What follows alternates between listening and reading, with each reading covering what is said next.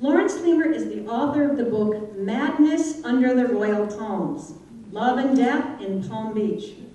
The work of narrative nonfiction is an intimate story of the mega wealthy in America's number one resort community, our very own Palm Beach. So without further ado, please help me give a very warm Devonshire welcome to Laurence Leamer. I know why I'm here today, and that is because after you hear about my controversial book about Palm Beach, you're going to be so happy to live here and if you don't live here, you're going to want to live here because uh, you're going to see what Palm Beach does and what, ha- what so, so often has happened to Palm Beach, uh, this strange, fascinating place. And this book of mine, which created quite a controversy over there, so much so that the police chief said I should have security just because of the things that were in this book. But it's nothing more than a truthful book about the realities of Palm Beach and life on that exquisite, beautiful island. The, the, the, the, real founder of Palm Beach and of Florida, really, is Henry Flagler. Henry Flagler is one of the geniuses of American life. He, he, he along with, with uh, John D. Rockefeller, was, was the founder of Standard Oil. When, when Rockefeller began with his foundation, uh, Flagler's wife was ill with tuberculosis. And in the, in, the, in, the, in the 1870s, Florida was a place you went if you were sick. You'd see the ads in the newspapers in the north, and if someone was sick or dying, you came down to Florida. His wife had tuberculosis. He came down to Florida in 1878 and, and fell in love with it. Three years later, his wife died, and he married her, her nursemaid and he decided he wanted to build. They, they, they, would go to Newport in the summer, the home of the kind of the, the, elite of America, and they really weren't totally accepted. She came from that background. She wasn't from an elite social background, and they really weren't accepted. And he decided he was going to build a new world in Florida where he would be accepted. And, and in the north, in St. Augustine, he built a great hotel where he thought the wealthy of America would come.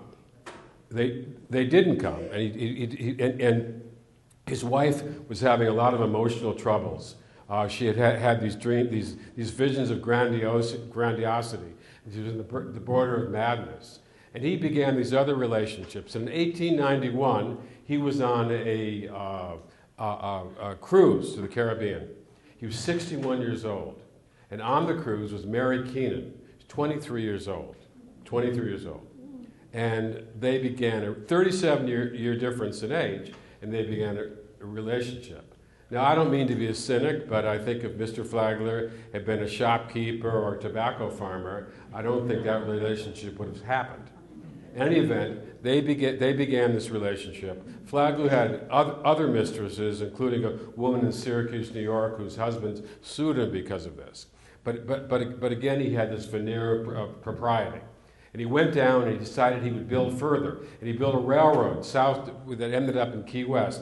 That was a time when in Florida, the biggest city in the south was Key West. Key West was about 25,000 people. But all the way from the north down, there was very little except scrub and jungle. And he found this island, this 13 mile long barrier island called Palm Beach, and decided he would build a resort there.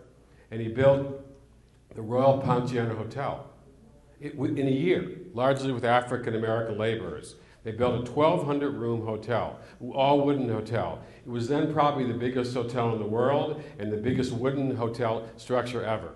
And the wealthy became to come. This became the place to come in the winter. And the wealthy came down in their private cars and they'd spend a few weeks in Palm Beach each quarter. All kinds of people came down. I've written about the Kennedys. Uh, Mayor Fitzgerald would come down with, with Rose because he wanted to be around the wealthy. But all kinds of people would come from across the eastern part of the United States. He continued his relationship with Mary Keenan.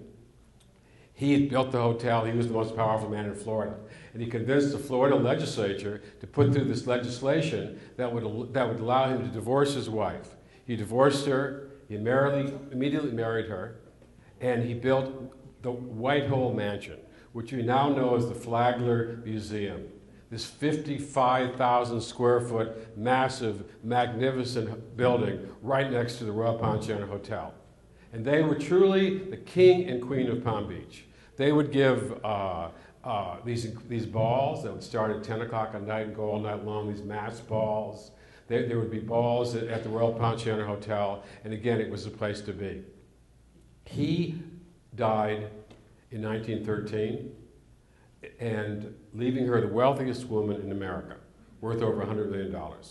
She felt very lonely, she was very sad, and in 1916, she married her, her childhood beau, Robert Chandler, from Louisville, Kentucky.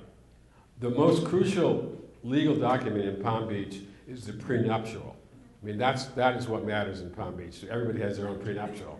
And Mary Keenan had a prenuptial with Mr. Chandler, but after a few months, he convinced her that, uh, that she should, uh, should change that and give him a few million dollars if she happened to die. Two months later, she died. The two, the, the two most authoritative researchers into this biography feel that, conclude, both of them make the same conclusion, that she died of syphilis, either given by Mr. Flagler or by Mr. Chandler. Now, this is again is a part of the history of our times that people don't talk about, why things are sanitized. But this is not gossip. This is this is this, this is this is the way it was. But it really is the classic story of Palm Beach, isn't it?